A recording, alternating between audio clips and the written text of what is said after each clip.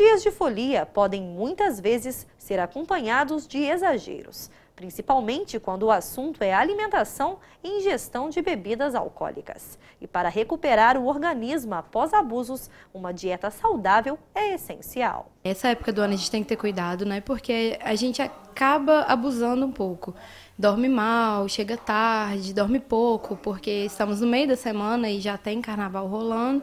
Então a gente tem que priorizar a alimentação saudável. Escolher bem os alimentos para consumir é muito importante. Ana Elisa explica que a escolha pelos alimentos mais naturais é sempre a melhor opção comer bem, procurar frutas, legumes, o arroz e feijão não pode faltar, não pode deixar de almoçar. Então, priorizar esses alimentos mais saudáveis, mais naturais. Segundo a nutricionista, optar por fazer as refeições em casa ou levar na bolsa alguns alimentos é também uma alternativa mais saudável. Eu não indicaria muito comer na rua, porque é, você acha mais, são pizzas pré-assadas, assadas na pedra, é, fritura, coxinha. Não tem muita variedade, uma opção muito saudável para você comer. Eu indicaria levar uma barrinha de cereal, levar um pacote de biscoito integral, aquele que vem com três, né? Então, assim, eu indicaria isso, mas se de tudo não der para aguentar, prefiro um, um alimento assado do que um alimento frito. Outro fator não pode ser esquecido: a hidratação.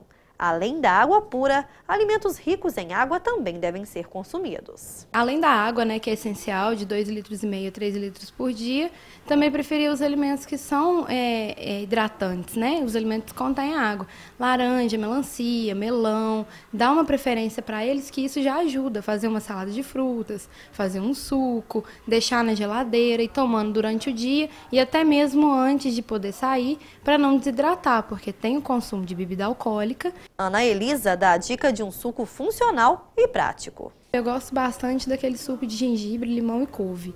Eu acho ele muito bom, dá uma, um ânimo, pelo menos para mim, e hidrata, né? Porque acelera o metabolismo, ajuda a acordar, e já, já é um, um multifuncional.